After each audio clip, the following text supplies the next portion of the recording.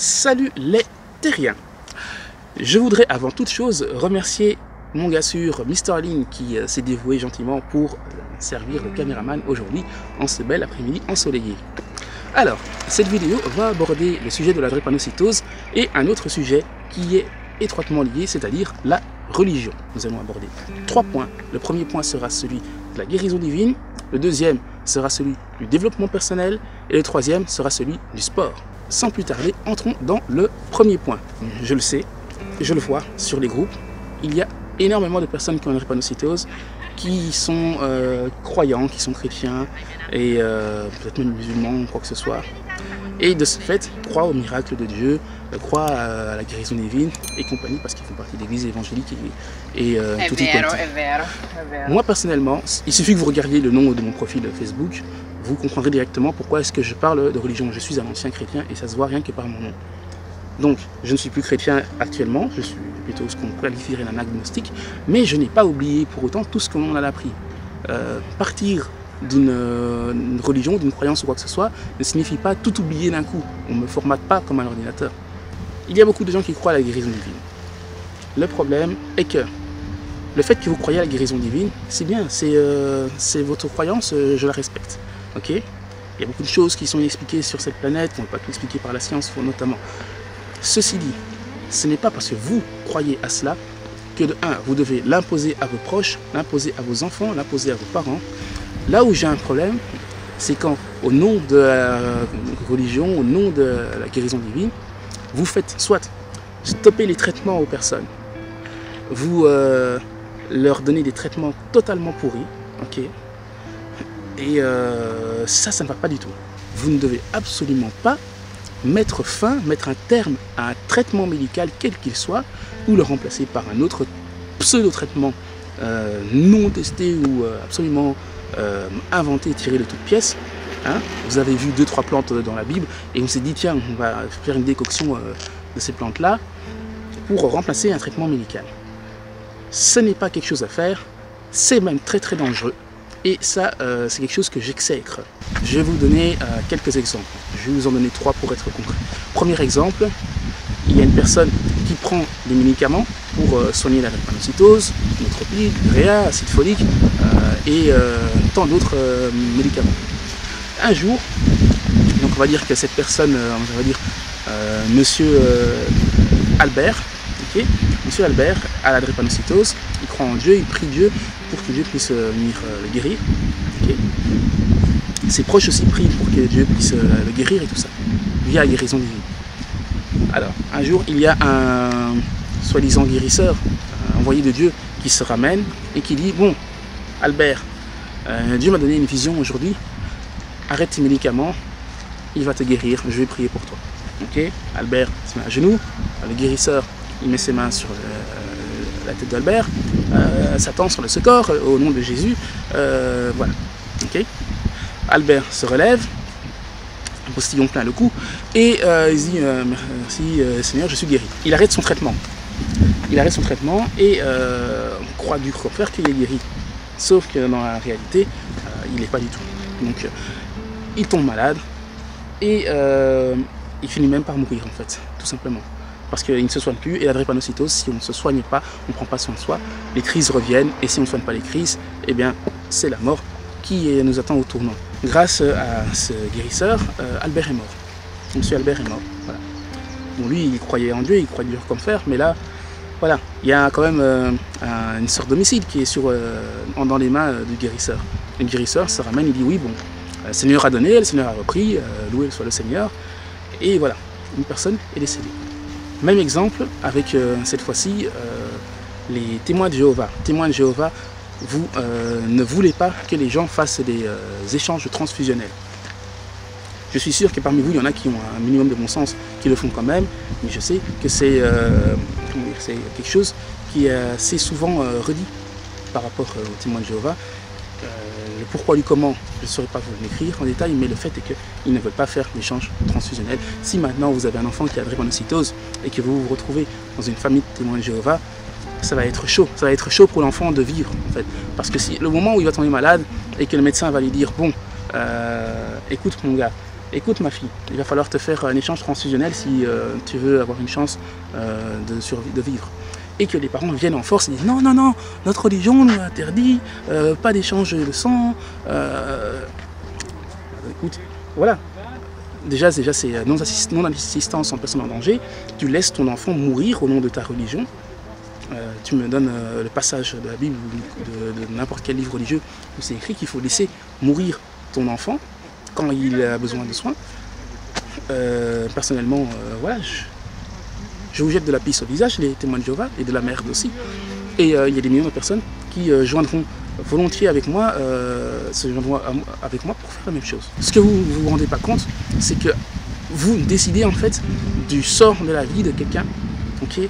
Vous dites à cette personne, moi écoute, le traitement avec le sang, l'échange de sang transfusionnel, c'est peut-être le seul moyen de te sauver la vie, mais comme on n'y croit pas, comme euh, on croit euh, que c'est pas bien de faire les songes de sang, eh ben, tu vas crever, hein Tu vas crever mon fils, tu vas crever ma fille. Voilà, c'est la volonté de Dieu, de, voilà. Euh.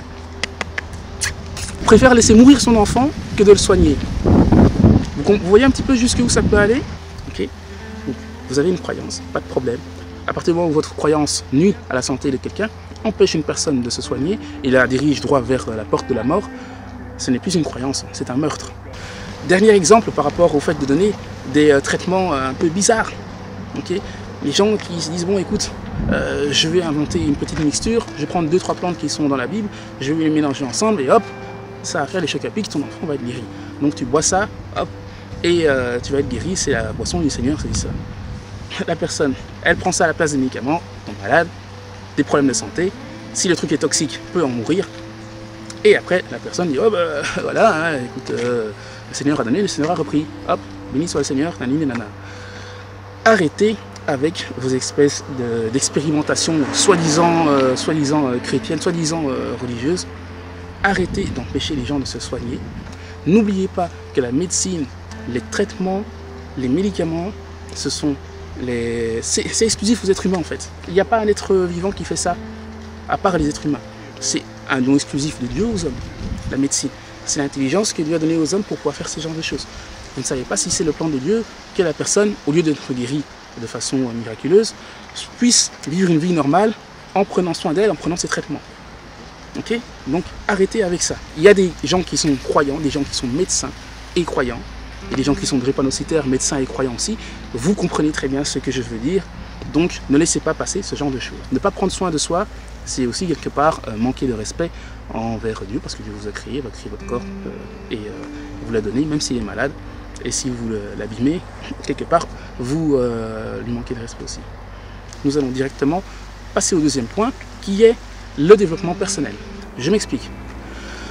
Il y a des églises où on apprend aux gens seulement à pleurer, seulement à prier, et bien sûr payer leur dîme, hein, et rien d'autre. On dit aux fidèles, tu pries, tu pleures, tu pries, tu pleures pour tes soucis, Dieu pourvoira, prie, pleure, prie, pleure. N'oublie pas, 10% de ton salaire aussi, la petite dîme, ça il faut pas oublier. Le pasteur, il veut des brebis dociles qui se lamentent sur leur sort et qui donnent leur dîme à chaque fois à la fin du mois, un petit 10% dans le panier. Je prends un petit exemple sur moi-même, j'ai la j'ai été euh, chrétien pendant longtemps et dans l'église où j'étais, le dogme, c'était crois seulement, car tout est possible. Mais on ne te disait pas, développe-toi, euh, fais euh, quelque chose de ta vie. La seule personne qui me disait ça, c'était ma mère. Et d'ailleurs, ça, euh, faut remercier les parents qui incitent les enfants à développer leur qualité et leur capacité et à les mettre en lumière. Les églises, faites la même chose. Faites la même chose parce que vous êtes, quelque part, vous êtes les guides des gens. Vous êtes vous avez la responsabilité de toute cette congrégation et de leur avenir, parce qu'ils vont suivre, ils vont créer leur vie sur base de ce que vous leur enseignez. Donc enseignez-leur des bonnes choses, enseignez-leur à se développer, à utiliser ce qu'ils ont en eux, faites-leur percevoir cela comme étant des dons de Dieu, parce que du point de vue religieux, ça l'est. Ok? Donc développez. Développez cette petite, cette petite graine que Dieu a mis en vous, devenez un terrain fertile, et euh, développez-la, faites transformer ces petites graines en pousses et en arbres, et voilà. il y a d'autres églises évangéliques où on apprend justement aux personnes à utiliser leurs dons, à utiliser leurs capacités. On leur dit, écoutez, tous les êtres humains ont au moins une capacité sur Terre qui leur est propre et qu'ils savent développer pour pouvoir euh, faire quelque chose de leur vie, pour pouvoir euh, soit inspirer les gens, pouvoir travailler, pour pouvoir subvenir à leurs besoins. Donc on leur apprend à développer leurs capacités, on leur apprend ça dès qu'ils sont jeunes, ok Et même s'ils arrivent plus vieux, on leur apprend quand même ça.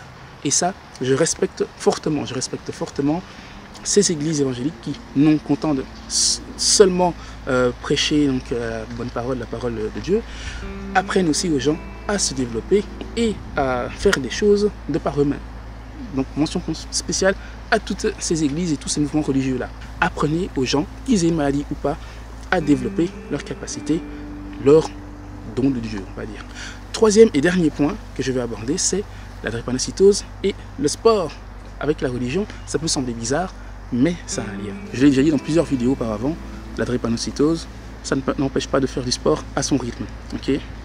et dans beaucoup d'églises, beaucoup d'églises évangéliques, on ne dit pas aux gens de faire du sport, on ne dit pas aux gens de prendre soin de leur corps, prendre soin de leur physique. Soit on ne leur enseigne pas, soit pire, on leur dit que ce n'est pas bien, c'est mal. Il y a des groupes, même religieux, où on dit que le sport, c'est démoniaque. Le sport, c'est l'œuvre de Satan. Euh, euh, on dit notamment oui, euh, les femmes ne peuvent pas faire du sport. J'aimerais bien savoir d'où est-ce que les femmes ne peuvent pas faire du sport? Parce que quand, il y a toujours une carotte contre les femmes dans les religions monothéistes et quelque part ça, fait ça commence à faire un peu chier ça. Au nom de quoi ce ne serait pas bien pour les femmes de faire du sport? Je vous le demande. C'est écrit où? Dans, comment dire, dans, dans quel livre religieux c'est écrit? J'aimerais bien le voir. Si c'est écrit, voilà, on va en discuter sérieusement, Parce que dans les faits, une personne qui fait du sport, c'est une personne qui prend soin de son corps. Et une personne qui prend soin de son corps, c'est une personne qui prend soin de ce que Dieu a créé. Ça, essayez de bouler un petit peu ça dans le cerveau. quand une personne prend soin de son corps et une personne fait du sport, eh ben, euh, elle respecte la création de Dieu et euh, elle, la euh, pas, elle la développe au maximum du potentiel.